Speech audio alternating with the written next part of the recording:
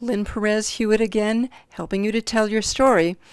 This time we're going to be looking at your audience. Who are you telling your story to? Because we're not homogenous, we're all different. We're different ages, different backgrounds.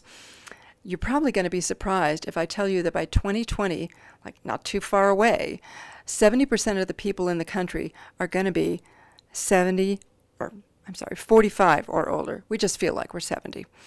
10,000 people a day are turning 65. 10,000 people a day. And we will until 2034.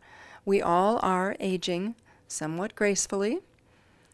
So you're not going to be talking all to our mature generation, which is already over 70. We're not all going to be talking to baby boomers.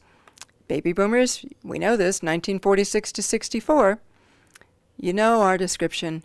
Workaholics, we're defined by work and our achievements. Sounds like Rotarians.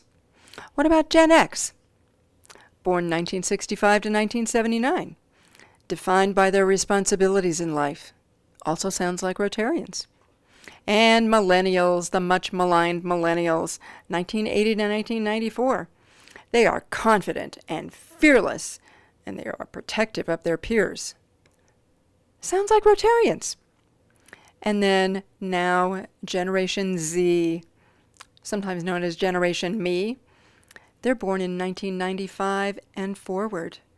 They are pragmatic, competitive, connected. Yeah, that whole social media thing. Socially responsible. They customize everything and they are plugged in and self reliant. They're all Rotarians. We know all of them. They're interactors, rotaractors. There are satellite Rotarians. They are all our Rotarians. So when you craft your message, be aware that your audience is going to be comprised of all of these people. And be aware that they have these different characteristics you can craft your message to appeal to all of them.